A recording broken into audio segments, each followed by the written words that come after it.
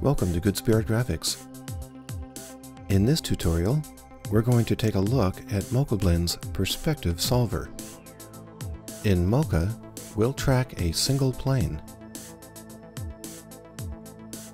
In Cinema 4D, we'll turn that track into a camera solve. Okay, let's get started. This tutorial contains the following sections. Tracking the plane in Mocha, setting the 3D solver geometry, and creating the camera solve. In the last tutorial, we did a 3D solve from a perspective track in Mocha. We were lucky enough in that shot to have a frame where the tracked plane was directly facing at the camera. In this shot, we don't have a frame where the tracked plane is ever facing directly at the camera, so we're going to have to use a different technique in MochaBlend this time to get a good 3D solve. In this shot, I used this image as a tracking marker. We're going to use that to create a camera solve from this single tracked plane using MochaBlend. We're going to draw our spline around this image on the last frame of the image sequence because on that frame it's closest to the camera and it'll be easier to position our blue surface area on that frame. So let's go ahead and draw a spline around the area we want to track. Doesn't have to be right on it because we have a blue screen behind it and Mocha won't get confused by that actually if we overlap it like this. Now you'll see our blue surface area popped up which is pretty much useless to us in this position because our plane is not facing right at the camera.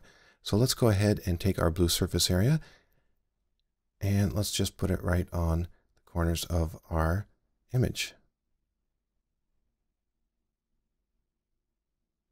Okay, that's good enough. Now we're going to track again with everything here because we're doing a 3D solve, so make sure shear and perspective are turned on. And let's go ahead and track backwards.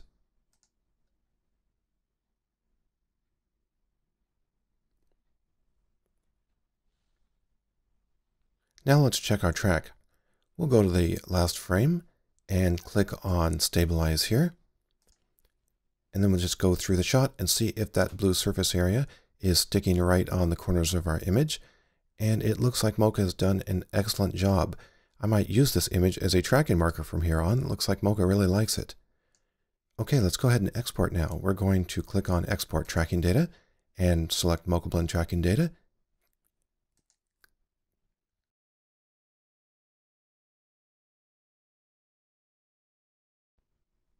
Here in Cinema 4D, we're going to paste our data in. Now we can either pick a slot with something in it and overwrite that slot, or we can pick an empty slot here. The blue highlighted area is the active slot. So let's go ahead and paste our data in slot 5 and set up our scene. We're going to import our format from our Mocha data. We're going to create a rig. We're going to set our timeline in Cinema 4D to match our data. Then we're going to pick up our footage the first image in the sequence here will drop into the camera view area right here. And you'll see it pops up on our frame. Now let's go down to the MochaBlend Solve tab here. Make sure we're on 3D mode for our solver and go down to Geometry. You'll see under Auto here, it says None. Now previously on the last tutorial, we got a frame number here because we were able to set the geometry in Mocha. We don't have a frame in this image sequence where the plane is ever facing directly at the camera, so we're going to have to set the geometry manually. So on user mode here, let's go ahead and click on geometry editor, and you'll see we get our image sequence along with our blue surface area from Mocha. You'll be able to see that a little better if you add an overlay to your background. Seems like uh, light green works a little bit better here. Contrasts a lot with the blue. There you go. Here's the blue surface area here. That is sticking nicely, just like it did in Mocha. Now what we want to do next is give MochaBlend the geometry it needs to create a solve. So let's go ahead and turn off that overlay for a second, and you'll see it says geometry is not set. If you don't see that, then make sure your little info box here is selected. That displays information about your geometry. Now next up we want to set our geometry to what the shape of this tracked plane is if it were facing directly at the camera. Now, if we don't know anything, we can go ahead and click the auto button and MochaBlend will attempt to calculate what the shape of that tracked plane is. Now because MochaBlend doesn't know anything about your lens settings or the lens distortion, it's going to have a hard time doing this. So this auto button should really only be used as a last resort when you don't know anything about the tracked area. In this shot, I happen to know quite a lot because I used it as a tracking marker. I happen to know that it is 7 units this way by 5 units this way. So we can go ahead and enter those values right here. 7 by 5. The units don't matter. They can be angstroms or light years. All it cares about is the ratio between these two. If we click on Set, there are the proper dimensions of our tracking marker if it were facing directly at the camera.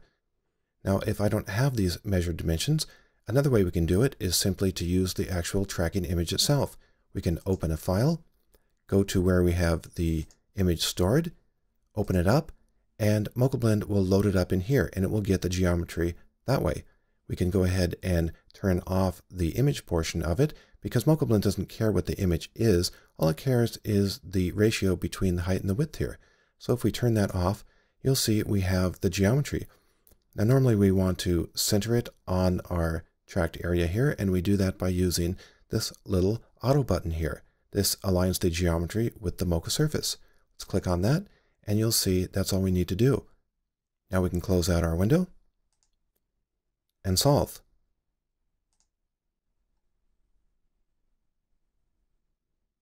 Now we always want to check our solve, so let's open up the graph editor and take a look at it. Ah, this looks like it is as good as it's going to get.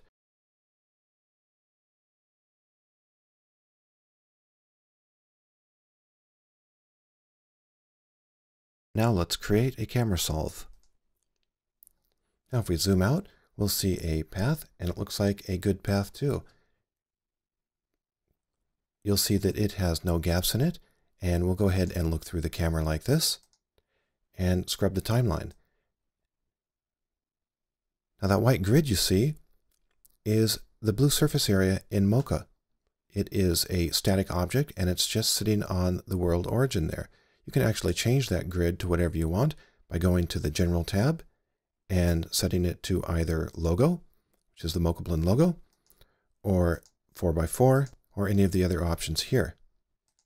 Now you can see the way the image is sticking right on our grid that we have a good camera solve here. So let's go ahead and do something with it just so we can take a look at it better. Let's move out of camera view and you'll see we have our background pushed back so it's not going to intersect with anything here. Can also make our background so it is not transparent again. That way it looks a little better through the camera view. And then on our grid here, you'll see it is not moving. The camera is basically moving around it in a traditional camera solve sense. So let's go ahead and put a cube right on our grid. We'll scale it down and move it up so it's sitting right on our grid here. There we go. Now let's go ahead and look through our camera again. And again, I like to turn on constant shading lines so we can see things a little bit better. We're going to turn off our grid first just so we can see our cube on our background footage a little better. So let's go down to our camera solve motion here and let's turn off, actually it's our reference plane right here that we're looking at, right? So let's turn that off and then play through the shot.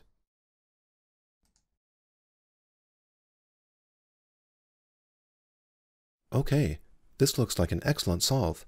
I don't see the cube slipping at all against the background footage.